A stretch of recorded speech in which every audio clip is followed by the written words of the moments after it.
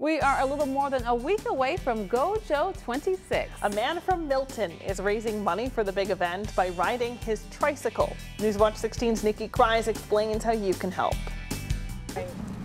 Gregory Fleck of Milton has been a fan of Joe Snedeker for as long as he can remember.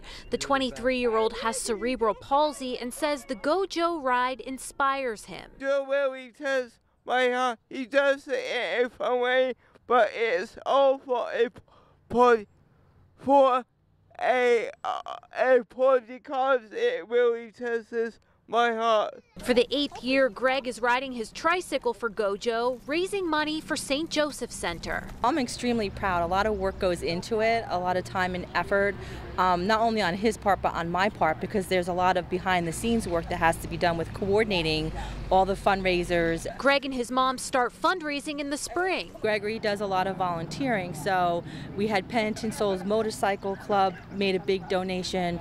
Um, St. Paul's um, United Church of Christ in Lewisburg um, did a fundraiser. Um, here at Church of Resurrection, we're doing a fundraiser here. Last year, Greg raised $5,600 for St. Joseph Center. He presented Joe with the money during Go Joe. Greg plans to do the same this year. Hopefully, I can continue to support St. Joseph as it goes Joe for many years to come.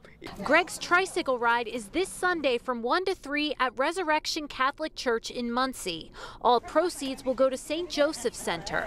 Nikki Krize, Newswatch 16, Lycoming County. Want to help out St. Joseph Center while taking part in the Summer of the Chicken? The team from St. Joe's will be selling raffle tickets for the chance to win one of Joe's autographed rubber chickens at several stops along his Go Joe 26 route.